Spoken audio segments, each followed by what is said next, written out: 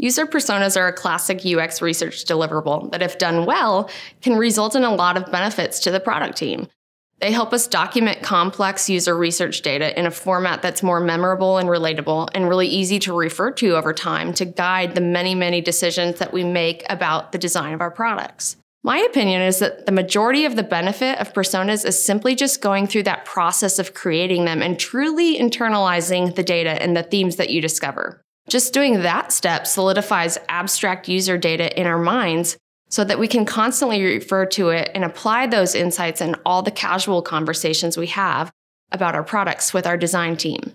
That being said, there are plenty of more formal ways to employ personas on a product and make a more tangible impact on the work we do.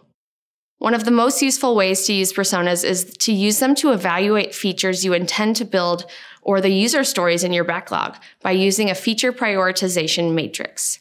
To do this, start with a spreadsheet inputting all the features and user stories down that left-hand column. Next, you'll put the names of your personas across the top row. Now, you'll want to decide with your team what level of priority each of your personas should have. So if you have personas and you haven't prioritized them in any way, you'll want to have that conversation first. The reason for prioritizing personas is because inevitably you're bound to run into instances where what's good for one customer segment is not good for another. Of course, we want to accommodate all of our user persona segments as much as possible, but if we strategically prioritize them, we're able to make smart trade offs when we run into conflicting user needs. You need to represent this priority alongside the persona in the top row. For this activity, the priority should be shown as a percentage figure that is representative of the level of priority in relation to the others.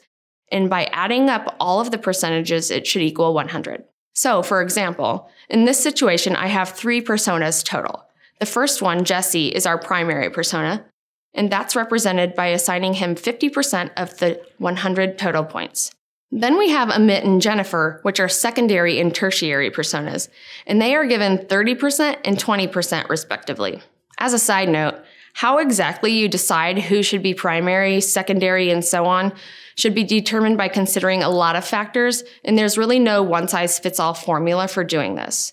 So, this is very much a strategic business decision driven by a lot of considerations. That being said, once you've determined that priority rating for each, you can start looking at these features through the lens of your customers. To do this, we have this handy little scoring rubric. For each feature, you and your team should consider what you know about each persona and score that feature or user story as it relates to your persona's needs and interests. For example, let's say this first user story is something that is critical for our primary persona, Jesse. It's something that would create significant problems for Jesse if it wasn't built into the product. However, this feature isn't something that would be likely a deal breaker for Amit. He may use it occasionally, but not having it wouldn't make or break his experience. So for that reason, we'll give him a zero because he's really neutral toward it. For Jennifer, the team decides that this feature or the way we intend to implement this feature would actually be harmful to Jennifer, Based on what we know about her, it's likely to have a negative impact on her. So for that reason, it receives a negative one score. You can also give the feature a plus one if it's something slightly positive, but not necessarily a must have. Once you've done the scoring, you can use the score to determine the weighted total score for the feature across the group. So by taking that score times the priority percentage for each persona, and summing those numbers, you land on a single score. If it's negative, then you would subtract that amount. If you do this down your list or backlog, the result is a list of features evaluated from the context of each individual user and from the perspective of your entire target audience. Now you can look across these scores and have some informed discussions about project scope or priority of user stories. It gives you a more objective way to discuss and compare them moving forward. One trick I've used in the past is to actually tag my user stories in my backlog with the score I have, and that way I can refer to it in the future.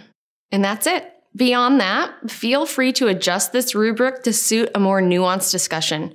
And the fun doesn't stop there. You can employ this same process to evaluate and prioritize a lot of other things in relation to your personas, such as new content ideas that you might choose to include in the system over time.